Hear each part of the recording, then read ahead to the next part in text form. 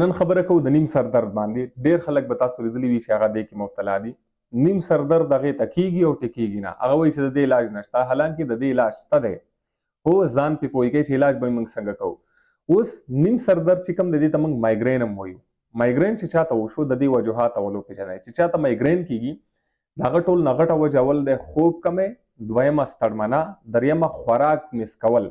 مسپخین خوراک د سو کوی چې زه مسپخین نه کوم مخصوصن به وکم نو خوراک مس کول نه یو پکار څلورمه وجه ګولیانې ځنه خلک به تاسو لیدلی وي چې هغه ګولیانې او دوایانې داسې خوري لکه څنګه مونږ خوراک کوو پنځمه وجه د دې د اوبو کمې یا د خوراک کمې بدن کې شپږمه وجه د دې د ډیر تیز بین سپریسو کې استعمالي یا پرفیومسو کې استعمالي ډیر تیز بین ولا د دې د وجم کې دلی شي ومه وجه د سیګریټ ته اتمه وجه شراب سکل نهمه وجه ډیر زیات شور کې کېنستل چې هرته ډیر زیات شور وي لسمه وجه تیزه روشنايي یا لایټس چې تاسو سترګو باندې لګيږي د وجم کې دلی شي اوس د دې علاج موږ څنګه وکړو؟ علاج یې ډېر اسان دی.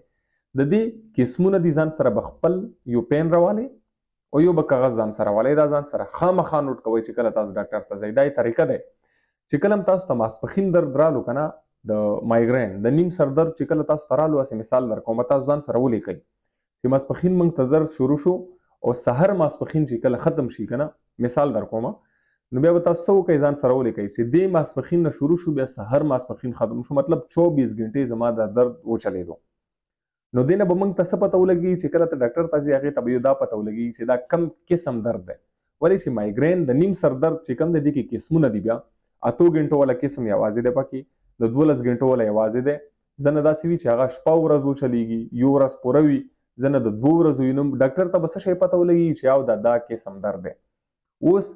دا به ځان سره ولیکي چې دومره ټایم زما درد شروع شو دې ټایم نه او دې ټایم پورې ختم شو دا ځان سره خامخا لیکي چې ډاکټر ته ځئ